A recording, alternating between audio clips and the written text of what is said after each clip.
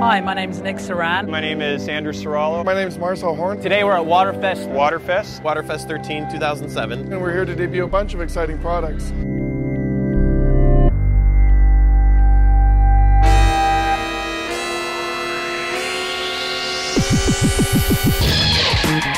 Hi, my name is George Osmond. I'm the Managing Director for North America and REVO Technik. We're a software tuning provider specializing in VW, Audi, and Porsche performance software. Today we're debuting our collaborative effort on the Stage 3 FSI Turbo upgrade. Right now the uh, prototype kit is making about 295 horsepower on 91 octane at 15, uh, 15 psi. Unlike other kits where you've got to use their downpipe or their intake or their exhaust, you don't have to buy anything extra. You're not relegated to buying parts that you either already have or that you don't necessarily want. So at the end of the day, the objective of this is to really make it as flexible and as easy to install and as cost effective as possible.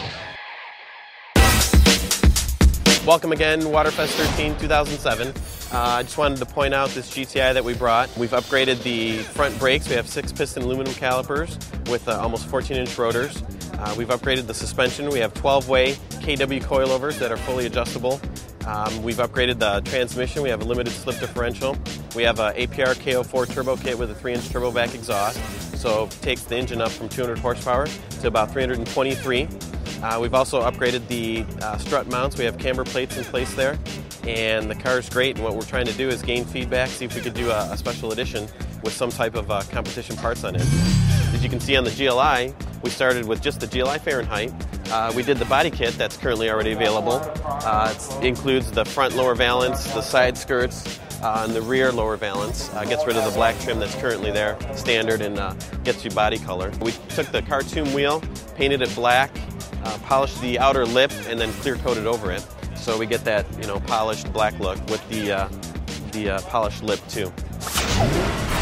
Hi, my name is Marcel Horn and I'm the owner of HPA Motorsports. It's another exciting time for the R32 community. All-wheel drive, 3.2 six-speed, big brakes, big wheels It came really well equipped and allowed our company to really excel by putting our turbo package on it. Debuted here at Waterfest is our new intake manifold, the CVP, Calibrated Velocity Port, designed to work as a replacement for the OEM, outfit for a supercharger turbocharge, it looks like you're packing a big piece of heavy equipment under the hood when you pop the hood. My name is Daryl Scott. I work for HPA Motorsports, and we have a new division that we started, Versatile Automotive Diagnostics. These products give you a basic link between the owner, the enthusiast, and their cars. With a stylus, instead of a tool, you can go through and check diagnostics in your vehicle any parameters from engine to transmission to instrument cluster. VAD Mobile, the first product we're featuring today, is used on the Palm OS system. VAD Mobile allows you to look at different aspects of your car while driving on the road without the need for a computer or a larger diagnostic tool.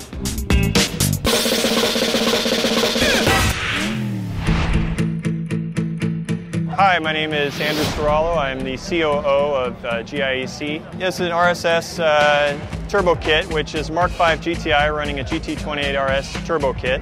Uh, it makes about a, uh, 290 horsepower at the wheels on 91 octane uh, which is a great improvement over the 190 wheel horsepower that the stock car makes. There aren't a lot of cars like this right now. I mean, the Mark V is still relatively a new platform. There really aren't any big turbo kits out there on the market. We've been testing in-house on this car for about uh, five months. Uh, and once that's done, we'll be shipping to the public.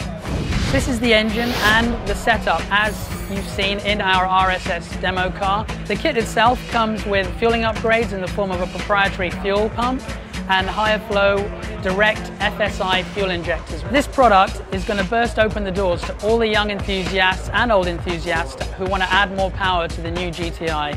It's a bolt-on kit, so it's just you can just take it off the shelf, take it to your mechanic and have it installed and drive out with another 100 horsepower. For what's on the market today for this car, what the options are for this owner, this is the hottest thing that they could they could get into.